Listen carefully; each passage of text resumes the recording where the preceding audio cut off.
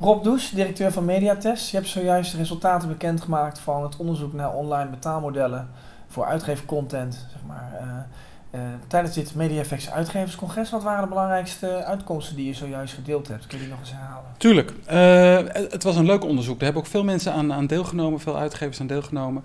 en het was goed omdat je een aantal hele belangrijke trends zag. En een belangrijke trend die je ziet is een enorme versplintering, enorme diversificatie aan producten.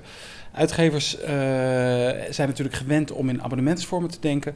Maar met alle betaalmodellen zie je opeens een versplintering aan modellen, aan producten. Je ziet uh, subscription-based, je ziet metered access, je ziet donationware, je ziet uh, freeware, ad-funded. Dus uitgevers proberen steeds meer modellen uit om toch de consument aan het betalen te krijgen.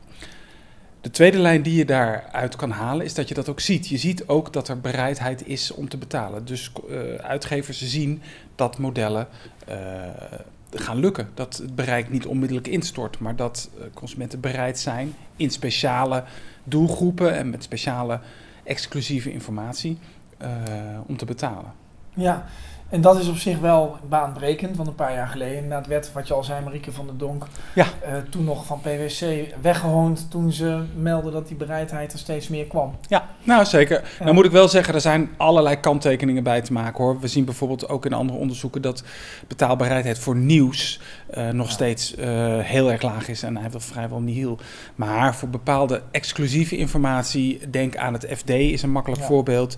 het FD heeft zulke specifieke bedrijfsinformatie, zakelijke informatie, dat mensen ja. bereid zijn uh, om daar. Uh, dus voor unieke of niet, en, en zeker ook relevante content. Ja, en met name ook doelgroepgerichte informatie. Ja. Want uh, daar kan je ook een merk opbouwen en daar kan je ook een specifieke positie in opbouwen die het waard maakt om er geld voor te betalen. Algemene. Uh, bijvoorbeeld uh, vrouwenbladen, is dat alweer een stuk lastiger. Omdat er gewoon te veel aanbod is. En de, de, ja, de verschillen te klein zijn om het geld te rechtvaardigen. Ja, laatste punt. Je zei, ja, jullie willen gewoon niet samenwerken, uitgevers. Leg dat nee, eens uit. Nee, nou ja, het, uh, uh, dat is niet omdat ik dat vind, maar omdat 84% van de uitgevers aangaf, wij zien dat niet zitten om te samen te ja, werken. Dus samenwerking, waarop, op welk gebied precies? als het gaat om betaalmodellen of distributievormen. we hebben gekeken van, zou er nou op een of andere manier interesse zijn om à la iTunes, hè, wat natuurlijk een zeer geslaagde innovatie is mm -hmm. als het gaat om ja. om zoiets ook en er wordt natuurlijk wereldwijd in België, ja. in uh, Slowakije, Slovenië, wordt er geëxperimenteerd ja. van als je nou één plek hebt waar je alle informatie van verschillende uitgevers zou kunnen krijgen. Ja, en dan doe je dus nadrukkelijk niet op bijvoorbeeld een tijdschrift.nl waar wel bladen van verschillende uitgeverijen en één online kiosk. Nee, Daar nee, nee, nee. Nee, nou ja, goed. Uh, uiteindelijk is dat natuurlijk ook uh, een initiatief van Sanoma die dat uh, is begonnen. En daar worden ja. een aantal kleinere uitgevers ja. worden daarbij toegelaten. Nee, ik bedoel echt een wat structurelere manier van samenwerken. En bijvoorbeeld ook individuele artikelen verkopen. Dus niet alleen gewoon je standaard producten, maar ja, dat je zelf kan mixen en kan matchen. Ja. Dat is wat je zou willen. Uh, maar dat zien uitgevers niet zitten.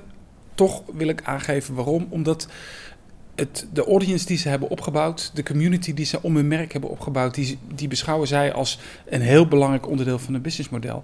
Dus die geven ze niet zomaar uh, prijs. Dat geven ze nee. niet zomaar weg. Nee. Oké, okay, helder op. Dankjewel. Nou, graag gedaan.